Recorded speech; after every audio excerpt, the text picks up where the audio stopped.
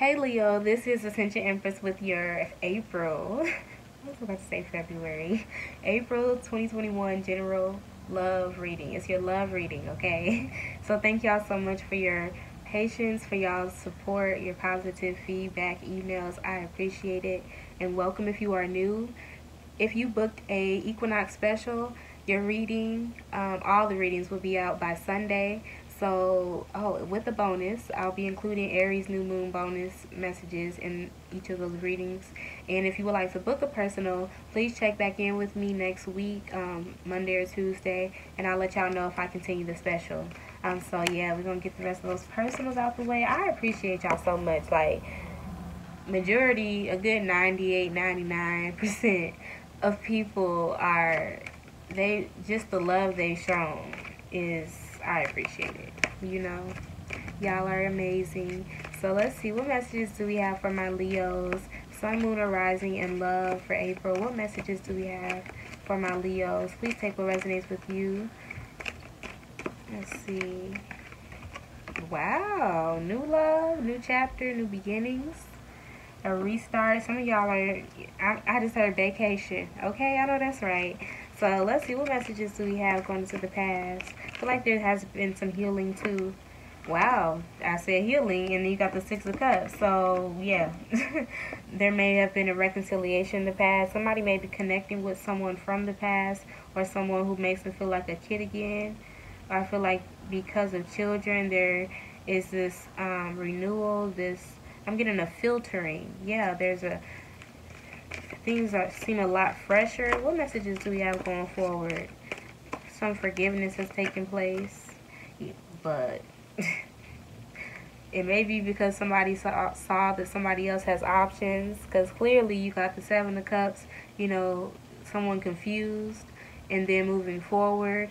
Um, but at the same time, somebody could be offering um, their cup of love.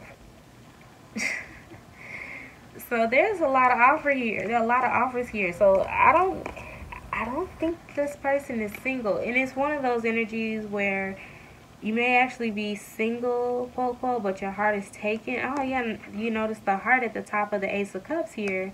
Um, but somebody is still, I get somebody's weighing their options, or someone may be confused about an offer. Yeah, somebody's confused about an offer, not sure because there's no guarantee that there was a reconciliation. There may have been talk of reconciliation in the past. So let's see what messages do we have underlying the reading. Underlying the reading. What messages do we have? The death card. Yeah.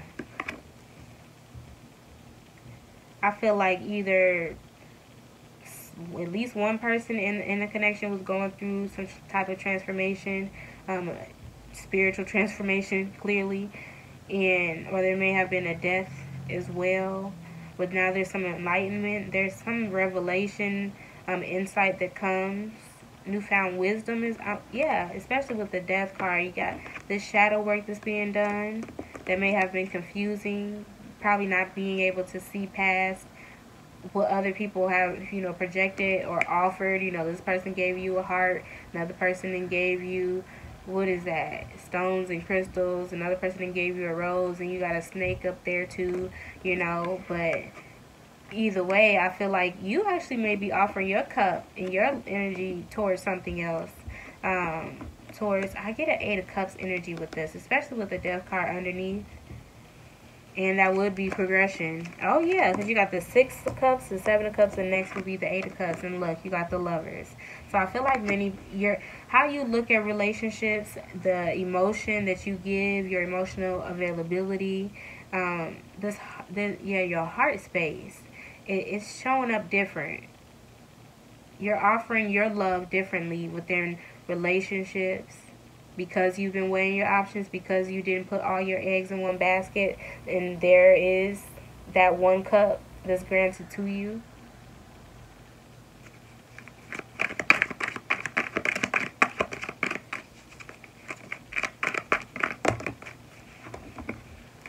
Wow. Yeah, I see why. Spirit's like, I got you. So, say you working, you focus, you know, faith without works. Many of y'all are getting a return on your investment. Virgo had that energy months ago with this Eight of Pentacles here.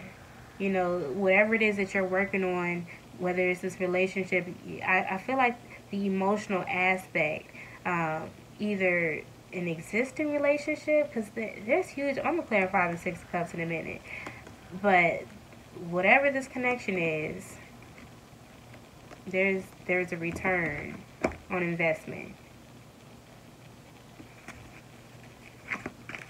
Clarify this Six of Cups.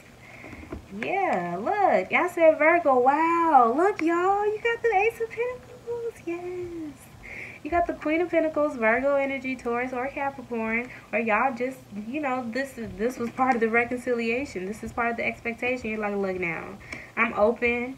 You know, somebody saying I'm open, but you're gonna have to. This is this, this is what we need. This is what we're building upon. This is what you brought to the table. Okay, and the Spirit keeps gifting you. God is gifting you, and look, some of y'all have tapped all the way into your entrepreneurial energy. Um, you, you've created something that is very lucrative. You're finally getting a return for some of you as well. Able to reconcile debts. Many of you, this is the, your cup. You as a couple. Yeah, and that's why there's just a lot of good energy around y'all. With the Ace of Cups and the Lovers, clarify the Lovers. What messages do you have? Clarify the Lovers. What messages? the King of Cups and the Wheel of Fortune. Yeah. Yes, it, they. y'all say we stepping into a new cycle, a new. I feel like y'all about to go. What did I say? A vacation energy. Some of y'all are going on vacation, retreating. Y'all putting in the work. There's been transformation. There's been secrets. You know, there's been shadow work done. Um, there's been shadow work done. Okay, on both people's part past the confusion now, you know, look, I'm so excited for y'all.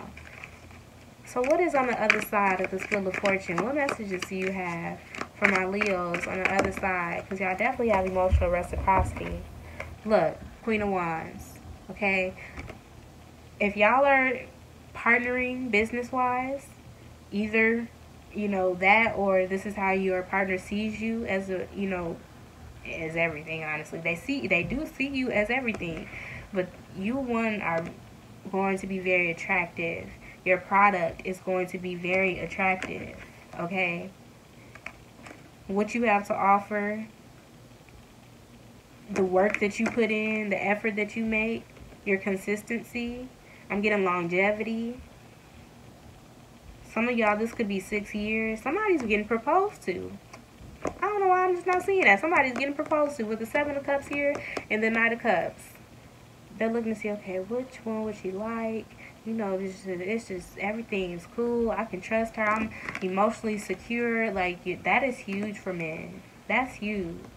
You know, she's like, dang, she got this fire energy about her, but I can trust her with my emotions. Like, I, I see, I see how she is with the other men, but man, you know, that is amazing, y'all. That is amazing. So let's see, what's the overall message?